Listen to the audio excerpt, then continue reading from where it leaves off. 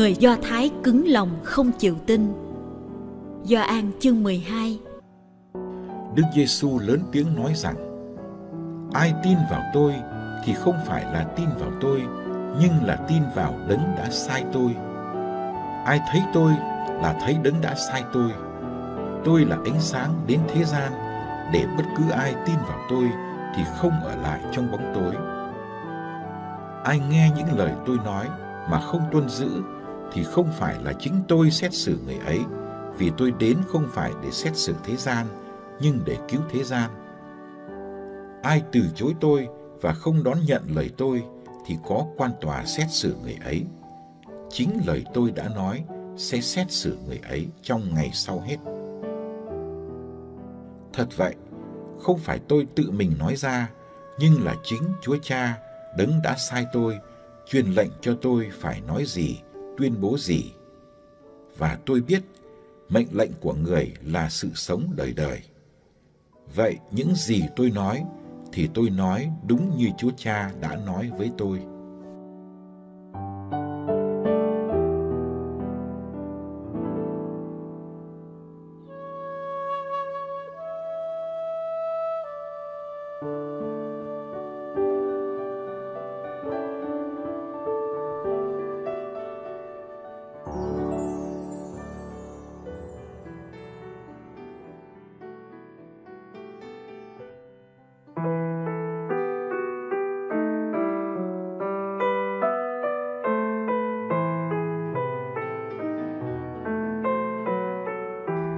Do là điều con người trân trọng. Bao người dám chết để đổi lấy một chút tự do. Các bạn trẻ thèm được tự do để được làm mình. Người ta vẫn hiểu người có tự do là người muốn làm gì thì làm, muốn nói gì thì nói, không bị bất cứ ràng buộc nào. Nếu thế thì đức giêsu có tự do không? Đức giêsu có tự do không?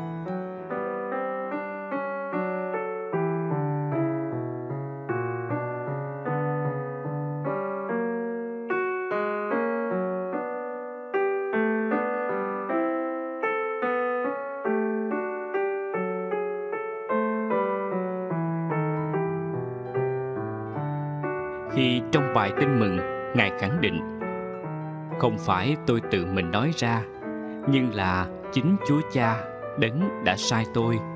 Truyền lệnh cho tôi phải nói gì, phải tuyên bố gì? Những gì tôi nói thì tôi nói đúng như chúa cha đã nói với tôi. Ngài có tự do không? Khi ngài cũng chẳng tự mình làm bất cứ điều gì. Đấng đã sai tôi vẫn ở với tôi người không để tôi cô độc, vì tôi luôn làm những điều đẹp ý người. Bao nhiêu lần trong tin mừng Gioan, Đức Giêsu quả quyết, Ngài không tự mình nói gì, cũng không tự mình làm gì. Ngài chỉ sống theo lệnh truyền của cha.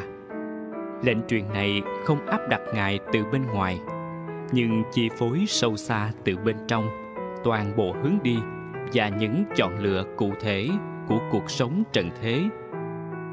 Đức Giêsu đã tự do đón lấy ý cha, lệnh truyền của cha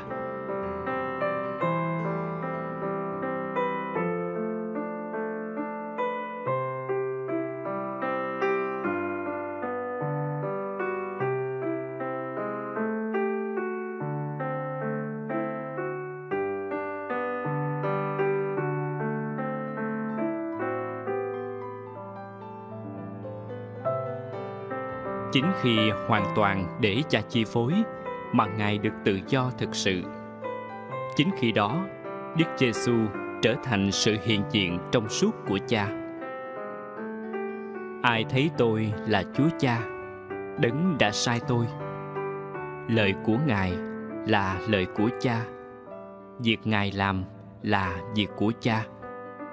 Chúng ta có thể gặp được thiên chúa một cách nguyên tuyền nơi đức giêsu đấng đã dâng hiến tất cả tự do để sống hoàn toàn tùy thuộc. Chính khi hoàn toàn tùy thuộc mà ngài được hoàn toàn tự do. Người được sai là một với người sai mình. Tôi và Chúa Cha là một.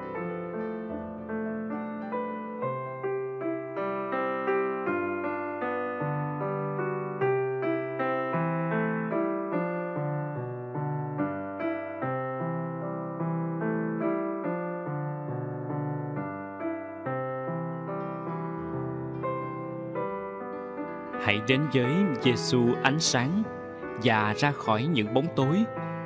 Hãy nghe, đón nhận và tuân giữ lời của Giêsu.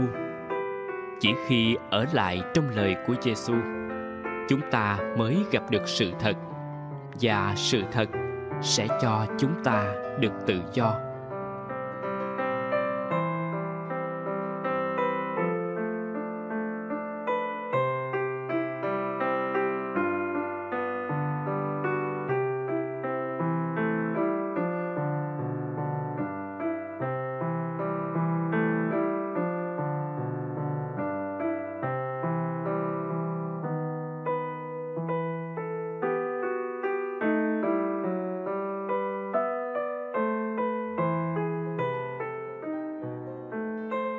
Lạy Chúa, xin nhận lấy trọn cả tự do, trí nhớ, trí hiểu và trọn cả ý muốn của con, cùng hết thảy những gì con có và những gì thuộc về con.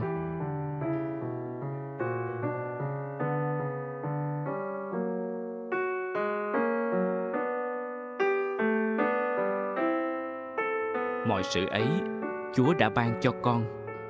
Lạy Chúa, này con xin dâng lại cho Chúa. Tất cả là của Chúa. Xin Chúa sử dụng hoàn toàn theo ý Chúa. Chỉ xin ban cho con lòng mến Chúa và ân sủng. Được như thế, con hoàn toàn mãn nguyện.